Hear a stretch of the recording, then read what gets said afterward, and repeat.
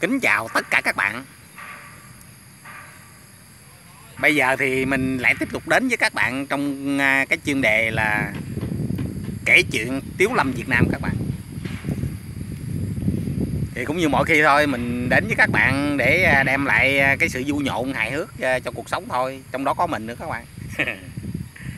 Phải nói là trước khi mình giới thiệu đến với các bạn thì chính mình chính mình đây thì mình đã có một cái à, cái tâm trạng mà nó nó nó sôi động các bạn nó sôi động tí. Cái tâm trạng của mình là nó vui nhộn nữa. Mình cảm thấy nó mình cảm thấy thích thú trong cuộc sống nữa các bạn trước tiên là cho mình. Thì, sau đó là mình giới thiệu đến với à, các bạn. Thì à, trong cái à, cái chuyên đề này á, những cái chuyện à, tiếu lâm mà mình kể ra đây á, thì à, đa phần là nó nằm ở trong ờ, cái kho tàng truyện tiếu lâm việt nam các bạn. Nó rất là nhiều các bạn. Rất là nhiều phải nói là phong phú lắm. Nhưng mà có một điều đó là cái chuyện mà chuyện trong cái kho tàng chuyện Tiếu Lâm Việt Nam cũng như trước đây mình đã từng nói với các bạn đó là mình xem á mình xem chuyện á, thì mình cũng cảm thấy thích thú. Nhưng mà khi kể ra thì mình phải chọn lọc các bạn.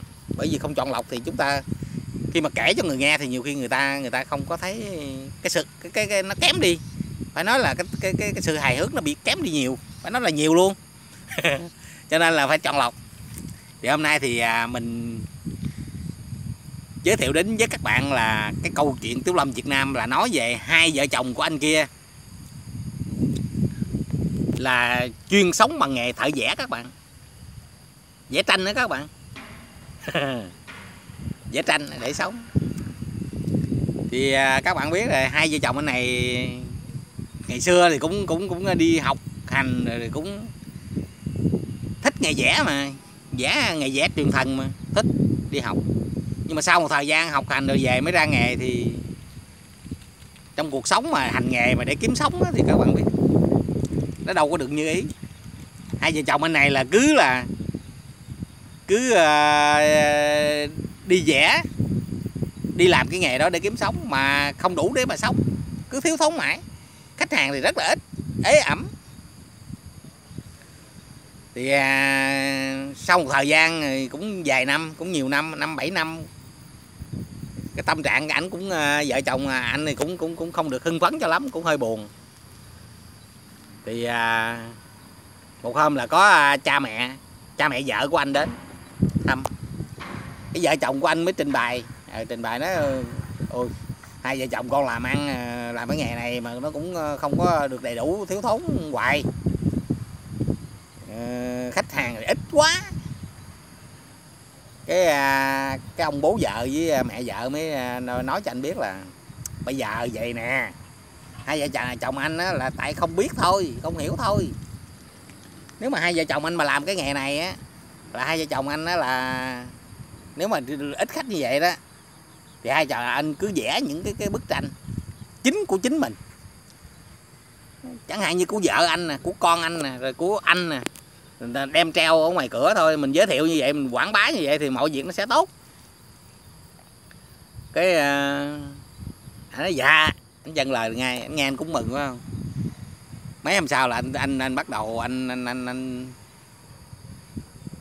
anh chuẩn bị à, mọi thứ để mà anh vẽ. Đầu tiên là anh vẽ vợ của anh nè nhiều bức lắm, anh vẽ vợ của anh là nhiều bức. Gọi vợ anh ra cửa à, ra à, cửa rồi ở trong nhà chẳng hạn, rồi ở những cái nơi này, nơi khác để anh vẽ. Vẽ rất là nhiều bức khác nhau. Rồi con anh nữa, mà đặc biệt đó là vợ anh là nhiều hơn.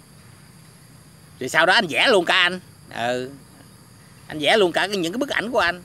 Rồi những cái bức ảnh của anh mà cùng ngồi chung với vợ mình nữa. Ừ cả thải là cũng trên dưới chục bức. Anh mới đem ra anh treo ngay cửa để anh quảng bá mà. Thì sau một thời gian thì à, cũng lâu lâu cũng khoảng một hai tháng một hai tháng sau thì lúc đó cha mẹ vợ anh lại đến lại thăm anh tiếp. Thì khi mà cha mẹ vợ anh đến là mới à, nhìn mới thấy mấy cái bức tranh á. Cái à, cha, cha mẹ vợ anh mới hỏi anh hỏi à, anh vẽ ai mà anh treo ngay cửa? Anh vẽ? Anh vẽ ai mà anh treo ngay cửa? Cái anh lúc đó anh bất ngờ nha. Anh nói ủa? Bộ ba với mẹ bố với mẹ ba mẹ không nhìn ra vợ con đó. Trời ơi cha mẹ vợ của anh mới, mới trả lời sao mà tao nhìn đâu có ra cha vợ mày tao nhìn có ra đâu đâu.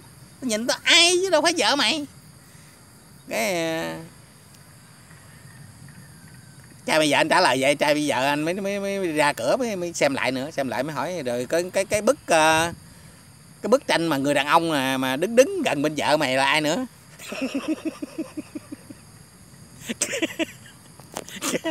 Lúc, lúc đó nói trời ơi con mà con đó. Bắt đầu anh lật ra là anh cũng không ngờ được phải không? Nhưng mà lúc đó anh trả lời nói con đó cái bắt đầu cái ờ, tiếp theo nữa là bố vợ với mẹ và anh mới gặp thêm một cái bức tranh tiếp theo đó rồi ai mà đứng đứng chung với vợ mày đây? Con nữa đó. Cái lúc đó lúc đó bà với mẹ vợ ảnh là đâu có còn cũng, thật ra thì cũng cũng ngao ngán phải không đó trời ơi, vợ chồng mày mà tao cứ nhìn tao thấy giống ai, đâu ai chứ đâu phải vợ chồng mày. Mày vẽ nhầm hay sao? Cháu cho nên từ đó tới sau thì thôi anh này anh anh anh khi mà anh ngồi anh nghĩ lại nó thôi mình đi tìm nghề khác mình sống chứ cái nghề này thì không được nữa rồi nghề này thua.